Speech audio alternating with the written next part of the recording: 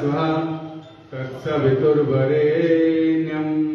भर्गो देवस्य धीमहि, धियो यो नः प्रचोदयात्। ॐ पूर्णमदः पूर्णमदं पूर्णात् पूर्णमुदच्यते पूर्णस्य पूर्णमादाय पूर्णमेवावशिष्यते। ॐ सर्वे भवन्तु सुखिनः, सर्वे सन्तु निरामया। सर्वे भद्राणि पश्यन्तु, मा कश्चित् दुःखभाग् भवेत्। ॐ सङ्गच्छध्वं, संवदध्वं संज्ञोमनानि सिजानिताम् देवाभागं यथा पूर्वे संजानाना उपासते। आज आप सभी का इस विश्वकर्मा सोसाइटी के प्रांगण में स्वागत है। बल्लभगढ़ प्राइवेट स्कूल एसोसिएशन के बैनर तले तत्वावधान में आज हमारी all Haryana private school association का सभी का स्वागत है। जैसा कि आप सबको उदित है, आज एक बहुत ही निश्चित और एक बहुत ज्वलंत मुद्दे को लेकर यहाँ पर आप सबका आगमन हुआ है।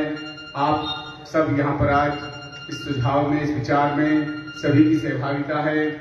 जैसा कि आप जानते हैं कि भिन्न भिन्न समय पर भिन्न भिन्न मुद्दों पर हमारी इस बल्लभगढ़ प्राइवेट स्कूल एसोसिएशन ने सबसे बढ़िया पहल की है और सदैव एक हमारी जो भी विद्वता है, जो भी हमारी सम्मानित मंडली है, जो भी हमारे स्कूल हैं, संचालक हैं, जो भी हमारे प्रिंसिपल्स हैं, उन सबको साथ लेकर, जो भी संस्थाओं के प्रतिनिधि हैं, उन सबको साथ लेकर एक समूह में दल बल के साथ, सबकी पूर्ण सहभागिता के साथ, सबके विचारों के साथ इसको बल दे रहे हैं।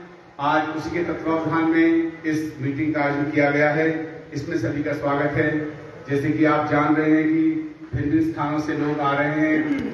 अभी हमारे जो भी पदाधिकारी हैं से हैं, फरीदाबाद से हैं, महेंद्रगढ़ से हैं अभी वो रास्ते में हैं।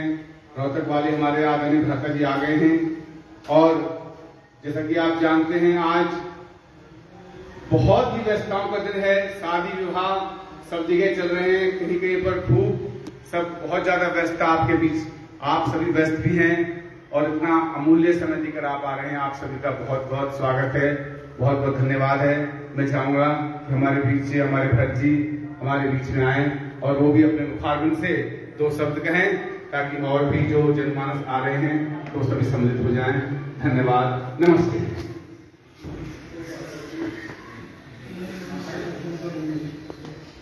आदरणीय भरत जी।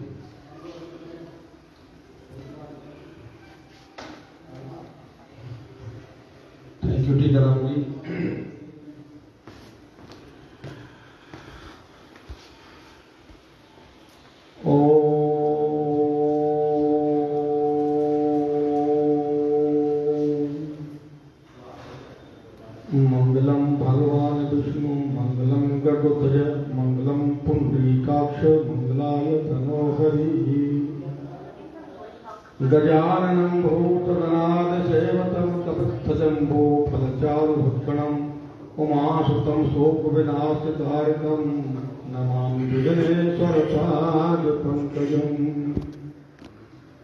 परम श्रद्धेय। हमारे बीच रोहतक से वन स्टेट वन यूनियन पदाधिकारी हमारे चावला साहब, उनके सहयोगी साथी भाई, हमारे बल्लभगढ़ प्राइवेट स्कूल एसोसिएशन के प्रधान चंद्रसेन जी शर्मा और हमारे बुज़ुर्ग पंडित जी रोशनलाल जी हमारे बीच अग्रवाल साहब,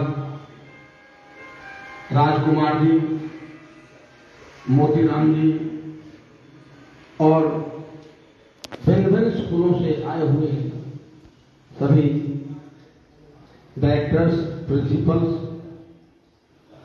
और विशेषतः इस संस्था के संचालक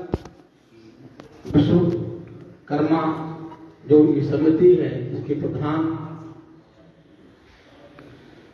भाइयों, आप सभी का इस प्रांगण में स्वागत। कहते हैं कि जब बहू पर बच्चा होने वाला था तो उसने कहा, सास से, कि माताजी मुझे जगा देना। तो सास माँ ने कहा, बेटी, मैं नहीं जगाऊँगी, तू ही मुझे जगा देगी साथियों, आज वो समय आ गया है जगाने का। लेकिन जगाएँगे कैसे? जागेगा कौन? ये बड़ी समस्या है। तेईस वर्ष से सन 2000 से हम इस समस्या को झेलते चले आ रहे हैं। लेकिन आज तक इसका कोई सच्चा और परमानेंट इलाज नहीं मिल पाया।